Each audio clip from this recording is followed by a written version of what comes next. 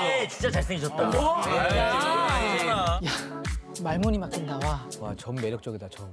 서인국 씨가 남자가 보는 데 그렇죠. 네, 여기 카메라 보시고 네. 자기소개 부탁드릴게요. 안녕하세요. 저는 자연인이자 헬스보이 개그맨 이승윤 씨 매니저 강혜석입니다. 저희한테 제보하실 내용이 있다고 들었어요. 제가 이제 매니저 일을 한 지 1년 정도 됐는데 승윤이 형이 이제 첫 연예인이고 아무래도 매니저 일을 하다 보면은 기대하는 부분들이 이제 방송국도 다니고 연예인들도 좀 보고 이런 부분들이 있는데 제가 1년 동안 산에만 다니고 1년 동안 산에만 하는데. 그러니까 생각을 하고 첫 연예인 스케줄 있을 텐데. 천밖에. 제가 1년 동안 산에만 다니고 승윤이 형 말고는 연예인들을 거의 본 적이 없고요. 동료 연예인 매니저 그치. 원래 녹화 들어가는 매니저들끼리 이렇게 친분을 갖는 게 또. 배우고 하는데. 네.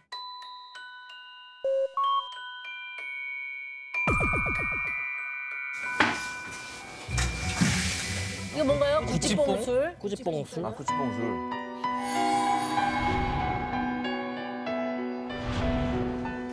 행복이 가득한 집.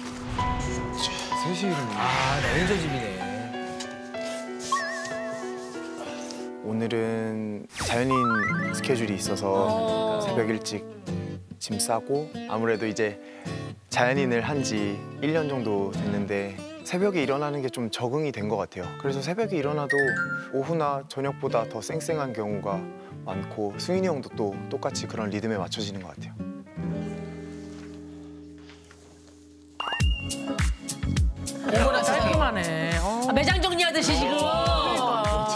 아, 매장이 아, 이건. 매장이 접는 거예요. 잘생긴 사람은, 잘생긴 사람은 깔끔도 하더라.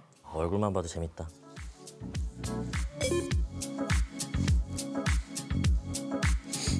야, 옷 접는 거 각진 거 봐. 오. 와. 매장 직원이잖아요. 원래 항상 정리를 깔끔하게 잘해요. 신발. 신발. 저기 있는 게 다 희귀한 거죠. 그렇죠. 응, limited.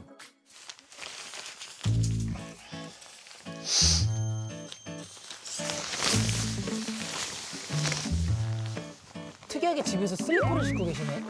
깔끔하시니까 그런가 보다.